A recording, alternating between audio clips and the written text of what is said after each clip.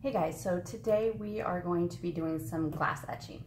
So it's one of my favorite things to do when you have a Cricut. It's super easy to cut um, a stencil out and then to put it on glass and to etch it. Um, all you're gonna need is some Armour Etch etching cream and then um, a Cricut. I like to use um, permanent vinyl just because I think it sticks a little bit better and then just some transfer tape to put that on and some fun designs that you found in Cricut Design Space. And actually all of these things I actually got at the Dollar Tree, um, my local Dollar Tree. They have a big glass um, section and I found the different colors of the wine glasses and the mug and these cute little things. So I actually like the wine glass the best. So with this color, you can see that that etching actually came out. So with the colored wine glass, you can see that that etching actually came out really well on that, if you can see it. Probably hard with the lights. But they also have these cute mugs that we did a mama bear and little flamingo on this one. And then with the mug, we did a monogram. And this I actually made in an app, um, monogram it on, I think it's on both Android and iPhone, and then you can just send it to yourself or just upload into Cricut Design Space. And I'm gonna show you how to put them on and put on the etching cream.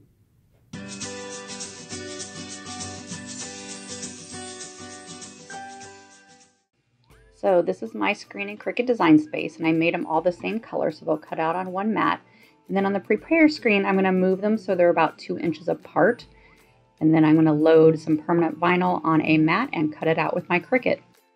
Okay, so I've cut them out on my Cricut and they're kind of hard to see, but I have four of them on here. So I'm just going to actually cut around them, um, leaving about an inch to each side.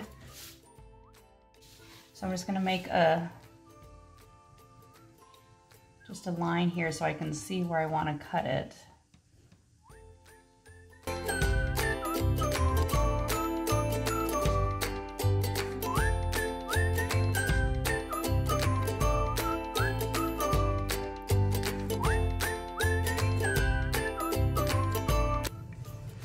Okay, so this is the flamingo one. So we're gonna be using this as a stencil. So we want the background there. So I'm gonna remove just the inside, the actual flamingo part. And I want the eye to stay there.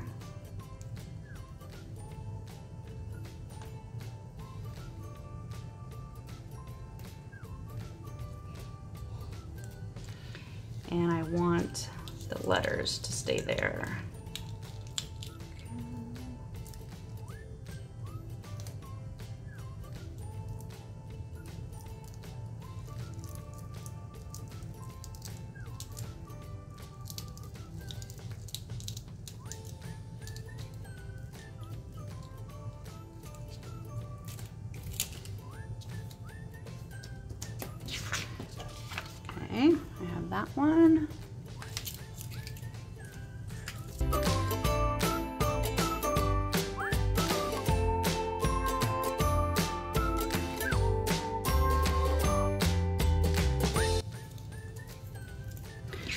Okay, so you can see I've kept about an inch or so around each of those to protect the glass on those sides. Okay, so now you just need a piece of transfer tape and you don't need it the whole size of this, just pretty much what covers the inside so you get the letters and things. And then I like to kind of prop what I'm putting it on up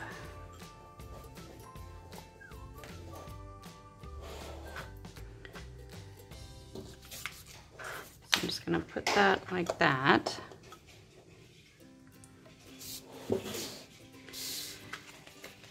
And then I'm gonna peel off my transfer tape from its back.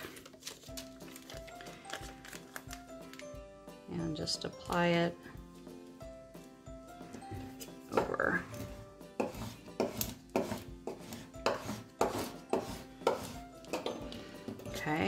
again, it's really just to lift up those letters there. So now when I peel off the backing, everything's on the on there. Okay, so now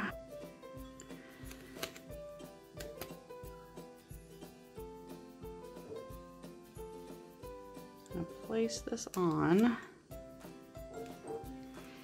And it is a little harder on the curved surfaces. So I'm gonna make some slits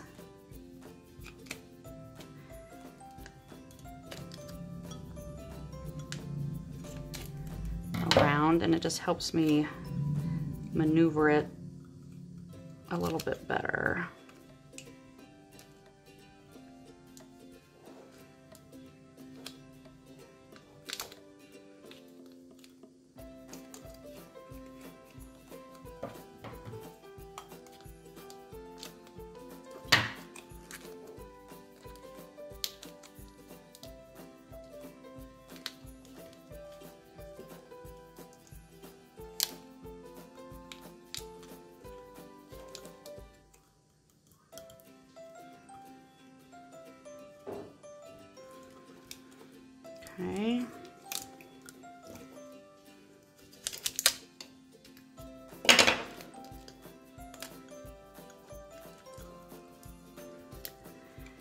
I'm just going to peel off the transfer tape.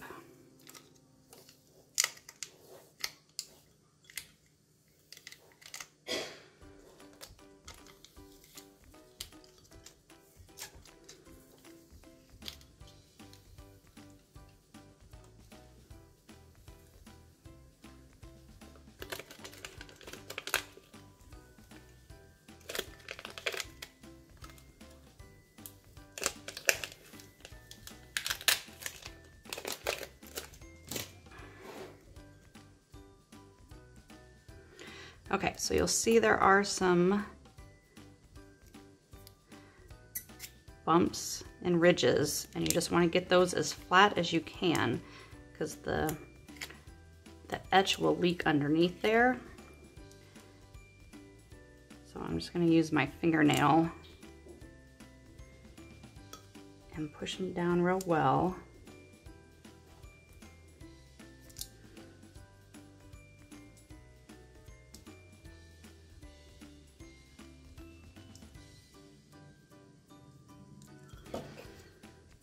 Or you can use a scraper.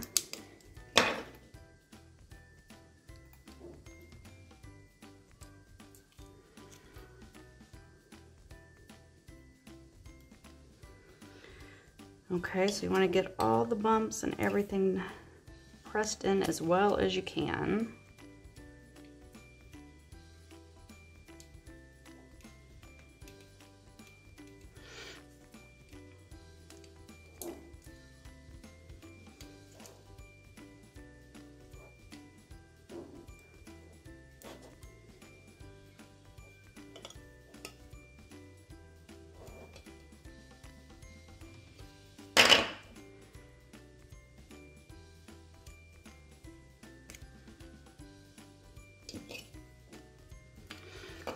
Okay.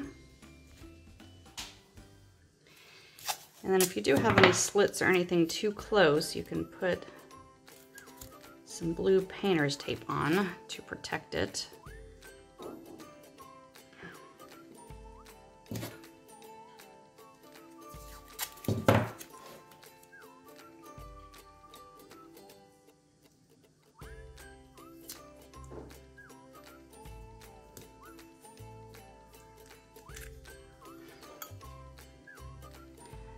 Okay, so there I have one that I'll be doing.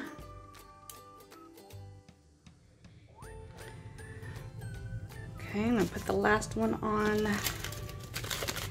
the wine glass.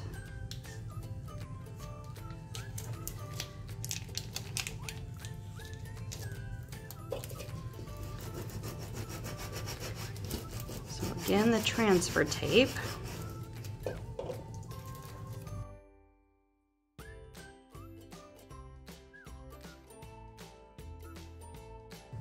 Since it's a rounded surface, I'm gonna make some slits. Try not to go too close to that, but just so I can pull it a little bit more.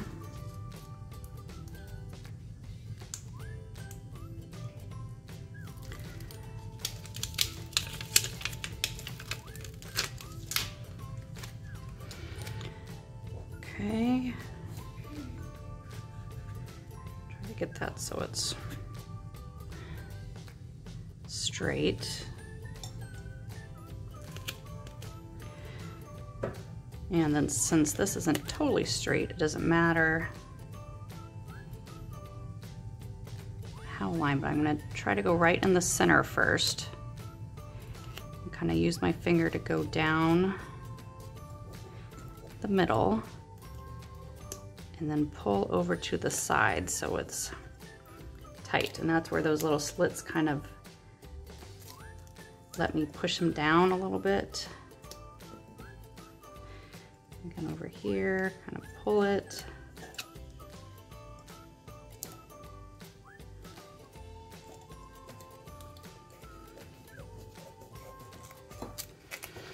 Okay, push it down really well.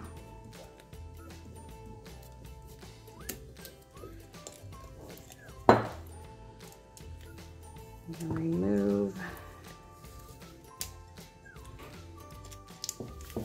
transfer tape. And after you make the slits, it is a little bit harder. It doesn't come off in one piece.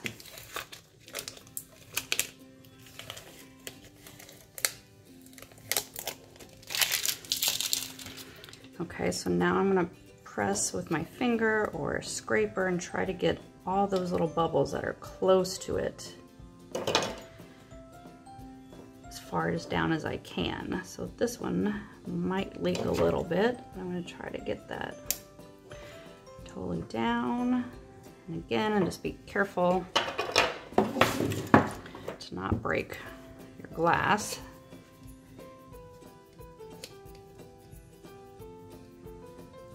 So you just want where any of it can leak right underneath it. And again, since I have some slits that are kind of close, especially down here, just gonna put some blue tape close.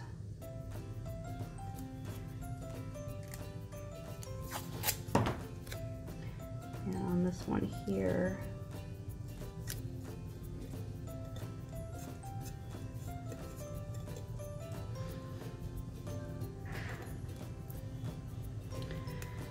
make sure it's all pressed as well as it can be.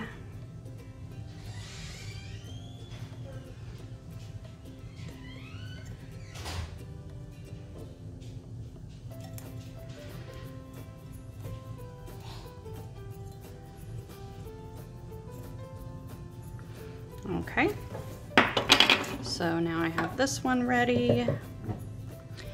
And I did this one, this one, and this one. So now I'm gonna go outside because it needs to be in a nice ventilated area and we will apply the glass etching. Okay, so I'm outside in a ventilated area. So I have my Armour Etch here. Um, and then just some paint brushes. And I'm gonna shape this up. And make sure you read all of warnings on here. And if you inhale, this is um, some strong stuff. So that's why I recommend doing it outside somewhere where it's well ventilated. So I have my glass here. So I'm just gonna kind of put some on the brush and then just start dabbing it around. I really just want it on the letters. It will spill out some. And I kind of do it so that there it's kind of a blob. Just so made sure that everything is covered up. So again, this is why you want all of those side things really pushed down so nothing can leak underneath the vinyl.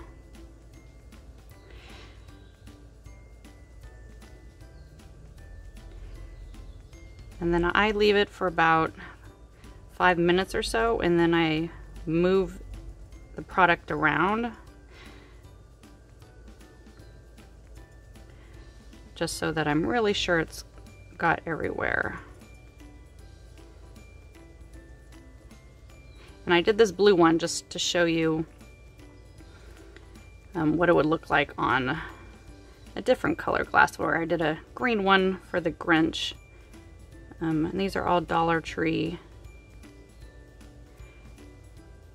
things. So I just want to make sure it's covering every spot of that. Okay. And then I'm just going to set it aside. Okay, and then I'm just going to do the same thing to the other ones. And I just blot it down. You're not brushing it. You just want it to be on top.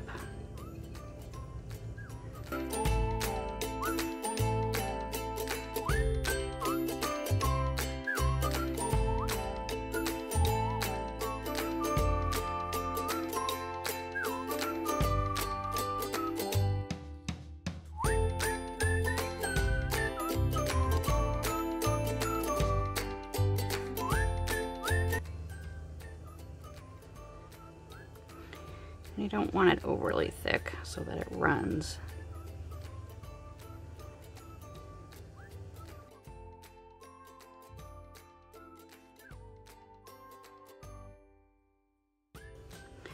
So, and if you can see, if you look inside, you'll see everywhere it's covered. So you can see there's a little bit down on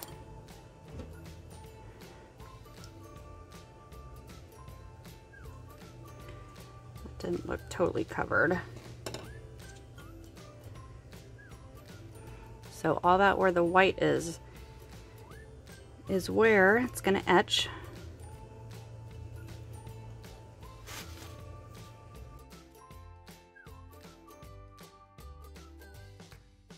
So I just have mine laying on a tray. Sometimes I put them upright. Um, they don't usually run, but it's hot out today. I wanted to make sure. Okay, so I'm gonna leave these about five minutes and then I'm gonna come back and just kind of push the stuff around just a little bit. Okay, so it's been about five minutes, so I'm gonna come out You'll see how I did put that, and this one actually ran a little bit which luckily didn't get down too far. So I'm actually just gonna kind of move things around a little bit.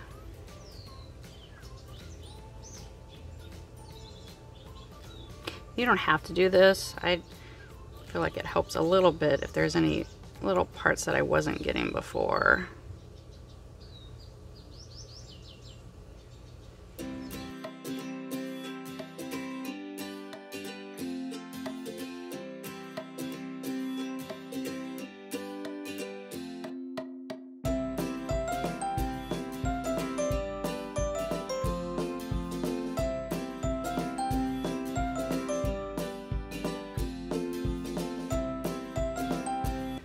So I'm gonna leave these about another five to 10 minutes or so, and then I'm gonna bring them inside and we're gonna wash them off. Okay, so I've let them sit. So before I rinse them off, I'm actually gonna put the extra stuff back into the bottle. So I'm actually just gonna kind of wipe it up. And you don't have to save it.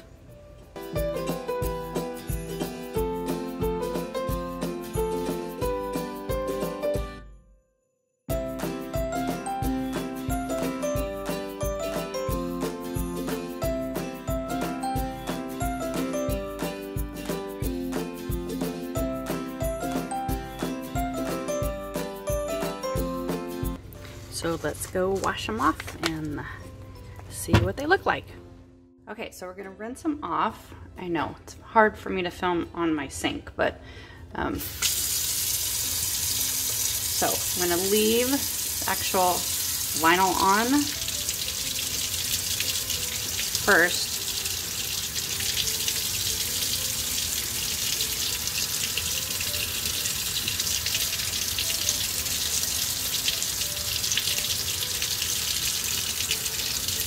And rinse it off.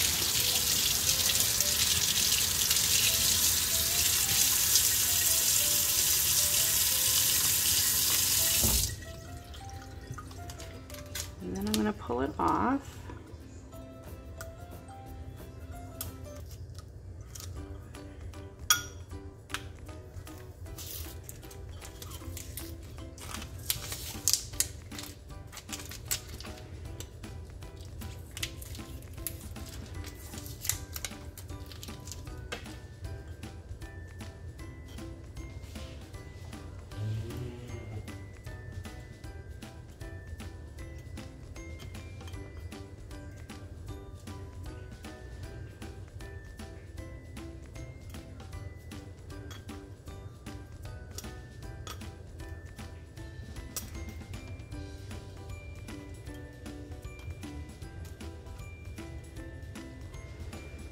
And then rinse it off again. And I'm gonna use some soap.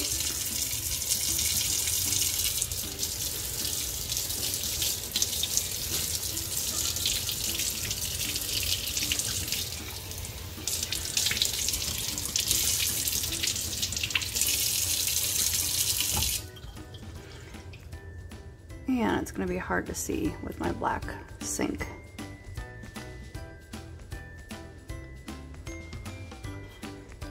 Let's in there that it's etched on there.